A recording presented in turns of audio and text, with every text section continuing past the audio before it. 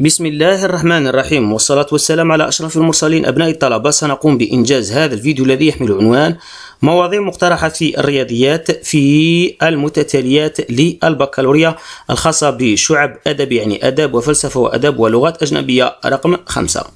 حيث يقول نص تمرين يو أن متتالية أولا حسابية. معرفة على أن يعني تنطلق من يو صفر. كما يلي u واحد زائد u ثلاثة يساوي أربعة وثلاثون.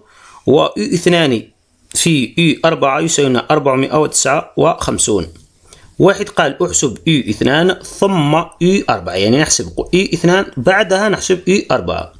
ثانيا قال أحسب الأساس R لهذه المتتالية الحسابية. ثالثا قال أكتب u n بدلالة n.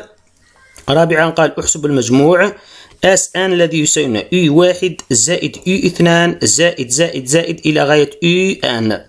ثم قال ثم عين n يعني العدد الطبيعي n بحيث S n يساوي 147 إذا لننطلق على بركة الله في الشرح المفصل نقطة بنقطة. إذا ننطلق أبنائي في الإجابة على هذا السؤال. قال u n متتالية حسابية. لما نتذكر كلمة متتالية حسابية يجب علينا أن نكون حافظين على بعض القانون. بعض القوانين أولا عبارة الحد العام المعروفة أنه U n يساوي لنا U p زائد n ناقص p في r هذه عبارة الحد العام في الحالة العامة. لاحظوا وانتبهوا هذا الأمر الأول. كذلك الشيء الذي يأتي في ذهني هو الوسط الحسابي كذلك. نحن نعلم أن المتتالية الحسابية ماذا تقول؟ تقول اي واحد زائد اي ثلاثة يساوينا مرتين من اي اثنان. كيف؟ دائما في الوسط الحسابي. إذا ذكرنا مثلا ركزوا. قلنا مثلا إي ثمانية زائد إي عشرة. ماذا يساوي؟ يساوينا مرتين من الحد الذي يأتي في وسطهم اللي هو إي تسعة. لكن بينهم كلمة زائد. هذا ما يسمى الوسط الحسابي. وتخيلوا كذلك. أعطيكم مثال. ثمانية زائد عشرة كم؟ ثمانية عشر. ألا تساوي لنا اثنان في تسعة؟ نعم. هنا انظروا. واحد زائد كم؟ زائد ثلاثة. أربعة. أليس هي اثنان في اثنان؟ نعم. إذا هذا هو الوسط الحسابي. لهذا لماذا ذكرت هذا الشيء؟ لأني سوف أستغله. السؤال قال أحسب يو اثنان ثم يو أربعة. ننطلق أولا ب اثنان. إذا نكتب هنا حساب إثنان. نحن ماذا نعلم أبنائي؟ قلنا أنه نقول لدينا أنه إي واحد زائد إي ثلاثة. قلنا يساوي لنا إثنان من إي إثنان. ويساوي ركزوا جيدا. يعني ها إي واحد زائد إي ثلاثة. ها هما يساوي لنا إثنان إي إثنان. وهذا المجموع كم يساوي؟ يساوي لنا أربعة وثلاثون. أعيد حتى تفهموا. هذه إي واحد زائد إي ثلاثة. هذه عوضت باثنان إي اثنان. وتساوي لنا كم؟ انظروا تساوي لنا 34 الآن بقي لنا المجهول. انظروا سوف نقوم بحل هذه المعادلة. لأن إي واحد زائد إي ثلاثة قلنا هي تساوي لنا كم؟ تساوي لنا 34 وفي نفس الشيء وفي نفس الوقت تساوي لنا اثنان إي اثنان. ومنه ماذا؟ ومنه إي, إثنان يساوي أربعة وثلاثون وهذا بما أنه في يأتي إلى المقام مع إشارته معناه على ماذا؟ على إثنان وتصبح لنا إي إثنان بالآلة الحاسبة سوف تعطي لكم 17 أرجو قد فهمتم الفكرة يا أبنائي إذا بما أن المتتالية حسابية فإن U واحد زائد U ثلاثة ليس ناقص مجموعهم U واحد زائد U ثلاثة يساوينا مرتين من U الحد الموجود هنا في الوسط من؟ هو U اثنان. يساوينا اثنان U اثنان. وكلاهما ماذا يساوي؟ 34 ثم يبقى لنا U اثنان. نقول U اثنان يساوينا 34 على هذا العدد المضروب. يأتي إلى المقام. يصبح لنا كم؟ 17 وانتهى. ثم نأتي الآن إلى حساب اي 4 لأن قال ثم. نأتي الآن أكيد إلى هذه الآن إلى هذه العلاقة. فتصبح لنا ماذا؟ لدينا ماذا نملك؟ نملك أنه إي اثنان في إي أربعة يساوي لنا أربعمائة وتسعة وخمسون. الآن إي اثنان هذه هي أبنائي نأتي بها إلى هنا. تصبح لنا سبعة عشر في إي أربعة يساوي لنا أربعمائة وتسعة وخمسون. بما أنه في فينتقل إلى هنا. تصبح لنا إي أربعة يساوي لنا أربعمائة وتسعة وخمسون على سبعة عشر وأكيد بالآلة الحاسبة سوف تعطيكم سبعة وعشرون. لاحظتم؟ ها قد الآن أبنائي حسبنا المطلوب الذي طلب منا. إذا عندنا الحدان المعروفان أن وجدنا إي اثنان يساوي لنا كم؟ يساوي لنا سبعة عشر وعندنا إي أربعة كم يساوي؟ يساوي لنا سبعة وعشرون فقط بعدما أنهينا مع هذا السؤال أبنائي نأتي الآن إلى السؤال الثاني قال أحسب الأساس R لهذه المتتالية إذا نكتب هنا حساب الأساس الذي اسمه ماذا؟ اسمه R نحن ماذا نعلم؟ نعلم هذه أنه U 2 أصبحنا نعلمها أصبحت الآن من المعطيات. U 2 يساوي 17 و U 4 يساوي 27 وعندنا المتتالية حسابية. فماذا تقول القاعدة؟ قلت لكم علينا أن نستغل الآن عبارة الحد العام. ماذا تقول الآن هذه؟ لهذا قلت عليكم أن تكونوا حافظين لها. تقول القاعدة الذي يوضع هنا الذي يكون ماذا؟ كبير في, الح... في ليس في القيمة إنما في الدليل يعني هذا يوضع هنا.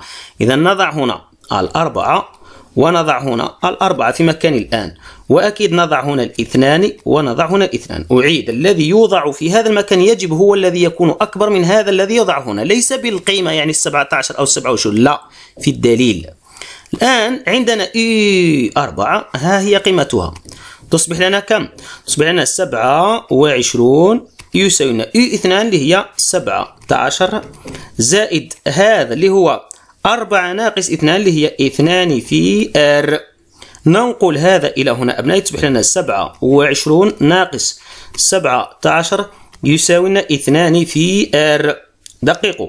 هذا مع هذا كم يعطي؟ يعطينا عشرة يساوي لنا اثنان في آر. ومنه R ماذا يساوي؟ يساوي لنا 10 على بما أن هذا قلت في دائما ينقل إلى المقام. لا يهم ينقل إلى المقام. هذه الكتابة 10 تساوي 2 R هي نفسها 2 R يساوي 10 لأنها مساواة. ومنه R يصبح يساوي كم؟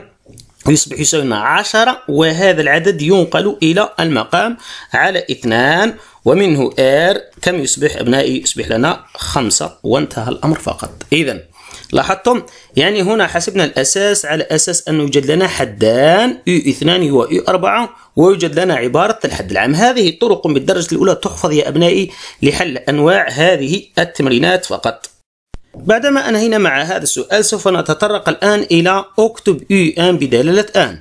إذا يعني المقصد عبارة الحد العام. إذا نكتب هنا كتابة إي أن بدلالة ماذا؟ بدلالة أن.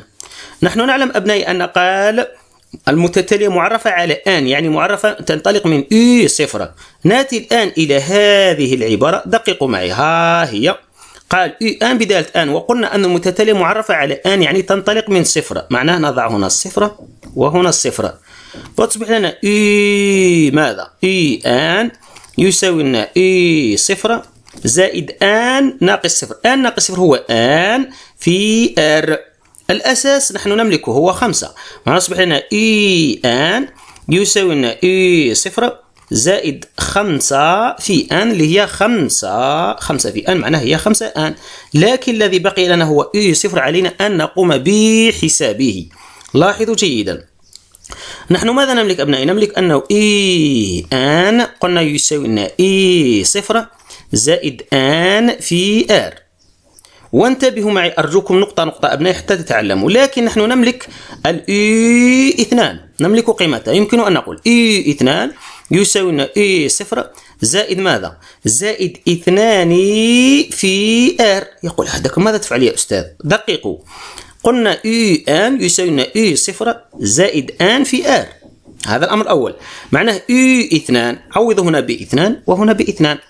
الآن ماذا يبقى لدينا؟ هذا نحن نعرف نعلم قيمته اللي هي كم؟ اللي هي 17 يساوي لنا U صفر زائد اثنان في الأساس نحن نملكه هو خمسة. دقق أنا أريد أن أقوم بحساب U صفر فقط.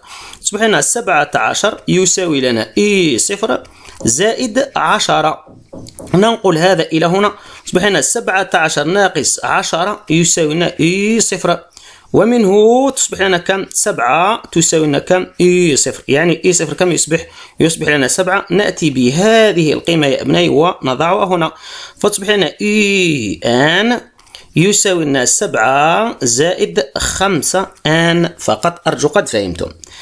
لماذا أبنائي؟ لأن قال هو U n بدلالة n. والمتتالية معرفة على مع معرفة على n يعني تنطلق من U صفر. لكن U صفر نحن لا نملكه. قمت بحسابه.